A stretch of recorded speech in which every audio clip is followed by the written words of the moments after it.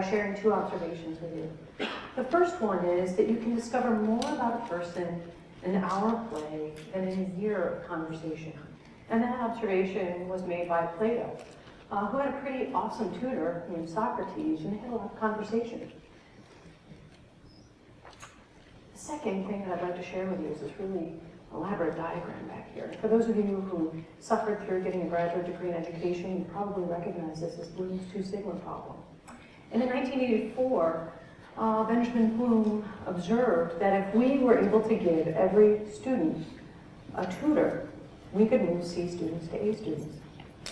He also observed that if we followed the pattern of mastery learning, that is, where a student stayed on a topic until they mastered it, not just getting a C and getting to move on, that we could move them from being a C student to B student.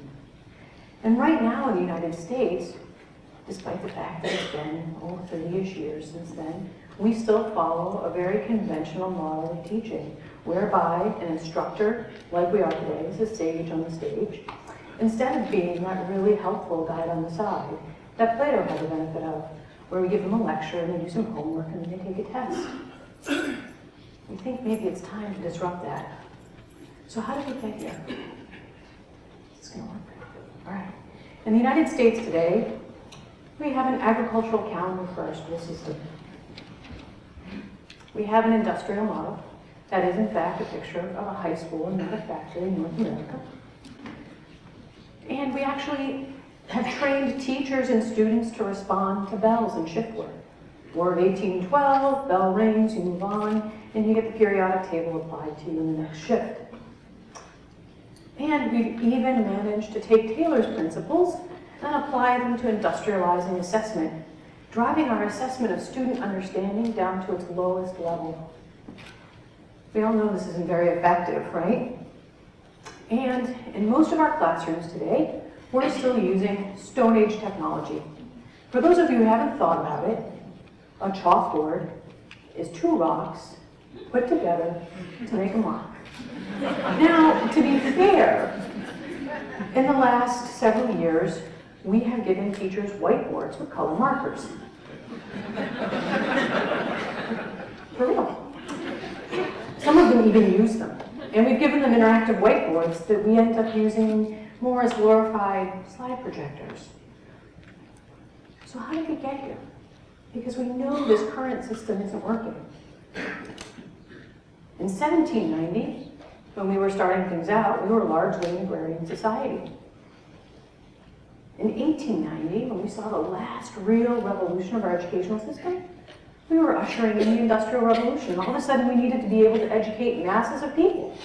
So that was, you know, a pretty good response to the times, and it gave birth to a lot of innovations that drove the 20th century.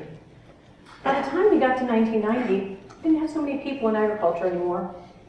Our, our manufacturing sector was actually on the wane, and we were seeing the blossoming of a technology sector and a services sector. Now, sitting here in this room today in 2012, can any of us imagine what the careers for children will be in 2090? I certainly didn't imagine that when I was in high school, I would eventually have a video game company where I had somebody on my staff whose primary responsibility was social media. That hadn't even been invented yet, right? And the video games that I first had were, you know, nobody thought that was going to be a great way to learn. So how do we get from here, right? This is what's happening in America's classrooms today, to here. When children are born, they're wired to learn through play. This is when they have those aha moments, when they're learning, leaning forward and excited.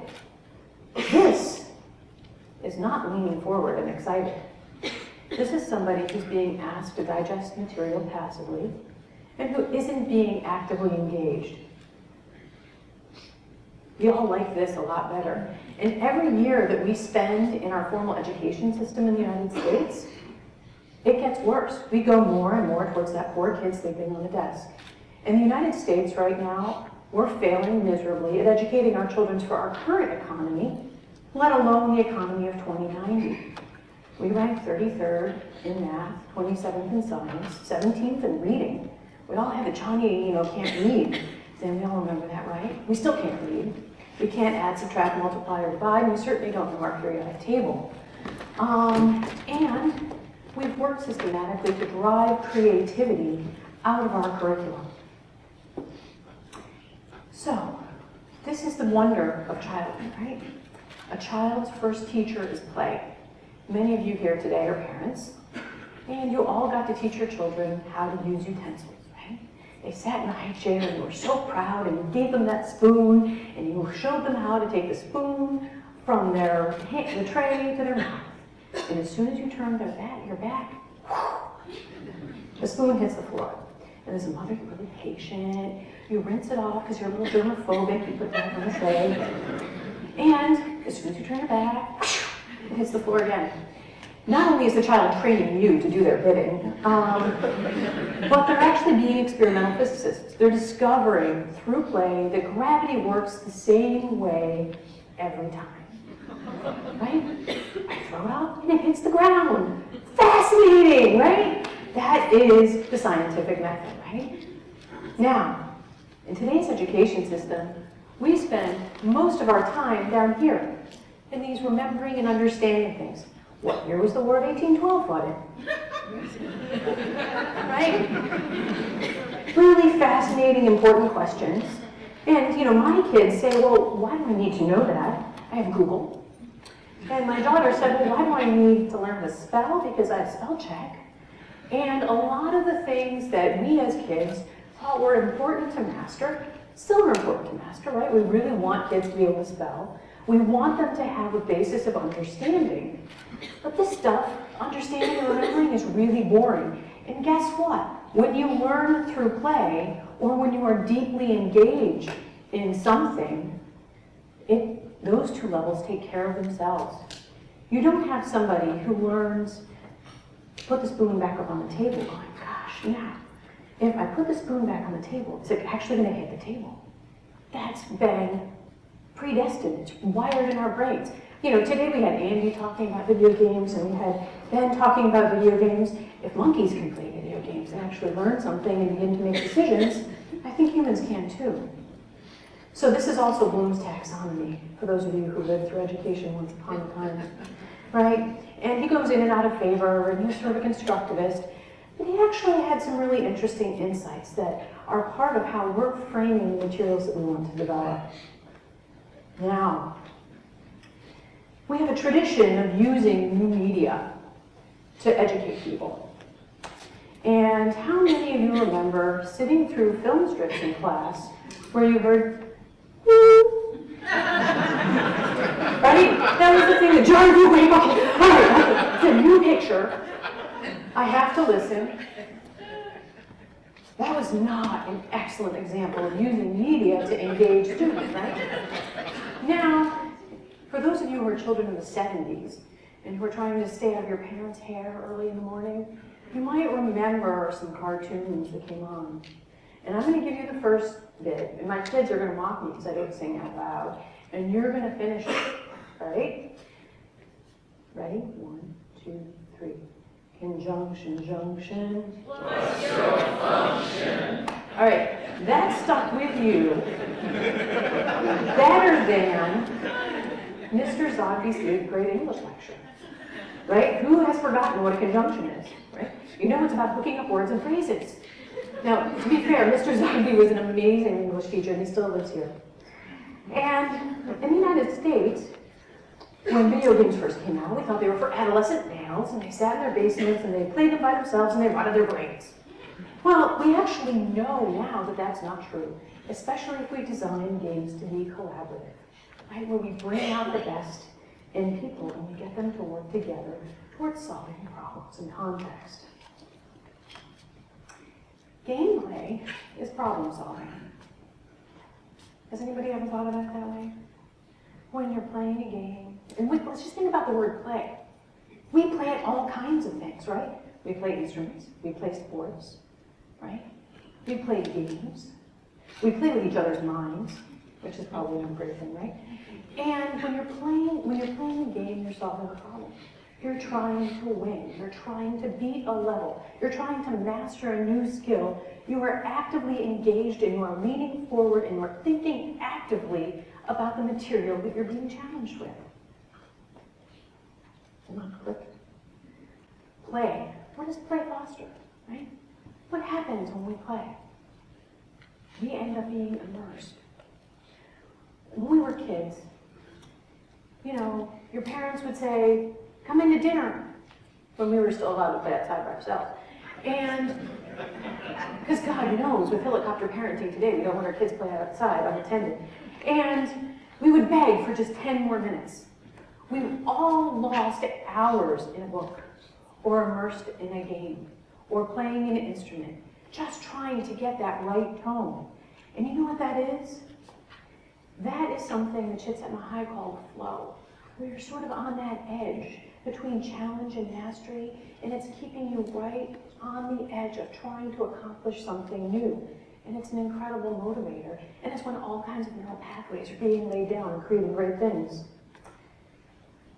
When we play together, we're forced to collaborate, right? We develop social and emotional skills.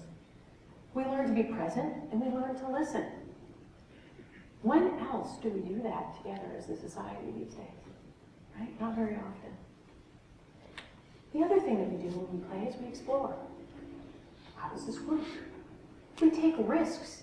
In games, there's no penalty for failure, unless it's Section 5 football and North and Pittsford, right?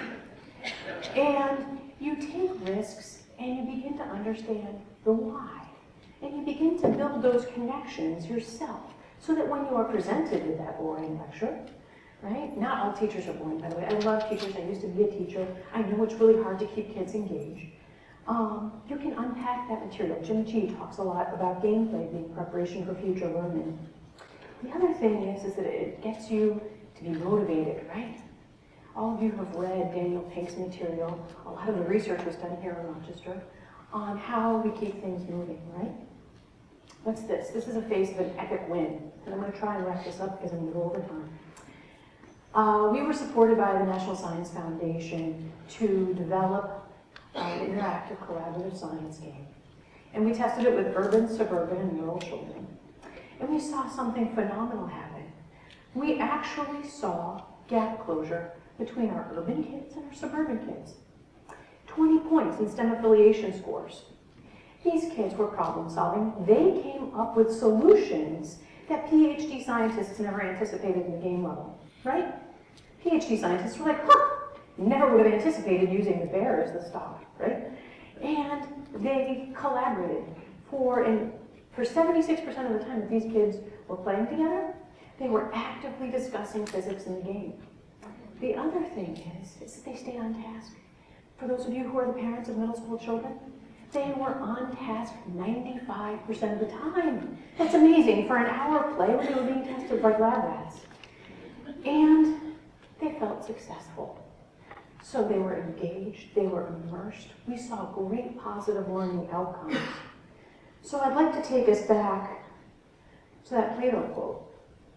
Plato said that when you can learn more about a person in an hour of conversation, or you can learn more about a person in an hour of play than a year of conversation. I'd like us to think about whether or not a student can learn more in an hour of play and make that next hour of conversation with their teacher or tutor that much more productive. Thank you.